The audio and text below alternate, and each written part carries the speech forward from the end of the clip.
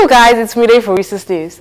The House of Reps have proposed a 2 million naira bail and a jail term of two years for the abuse of codeine and tramadol.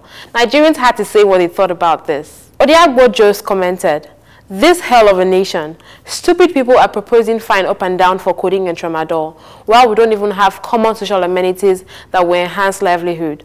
Bad leaders, bad roads, no light, no security, no hospitals, nothing is working, and you are here proposing stupid proposals. I am the Dark Knight commented. A country where we can't properly regulate the use of a drug and instead bans it when it has benefits to specific few. Their priorities are clearly misplaced. What do you think about this? The National University Commission NUC has released a list that contains 58 illegal universities in Nigeria.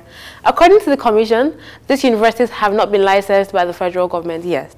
A few of these universities are Lobi Business School Makurdi, Western University Kwara, St. Andrew University College Abuja, Leadway University Delta, Olympic University Enugu, Temple University Abuja, and a few others.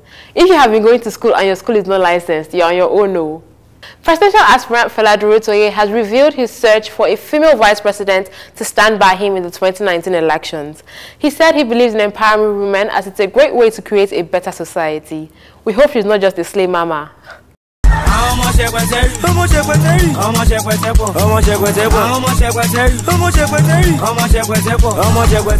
Davido has signed Shekpeteri crooner Idowest to the DMW record label.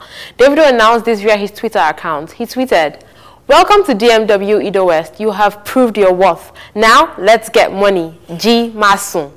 We're expecting greater bangers from Idowest. I think Twitter is now Davido's new home. As he posted his thoughts on Twitter, he tweeted, maybe it's time to sign a female artist. Nigerians obviously will drop their comments on this one, but Bele people. Berry Cutie Bay commented, he should sign Chioma so he will be close to his sister. Who do you think it will be? Tell us in the comment section below. That's all for now, guys. Check out more on our social media platforms at Resuss TV. Subscribe to our YouTube channel and don't forget to click on the notification bell for instant notifications. Bye, guys.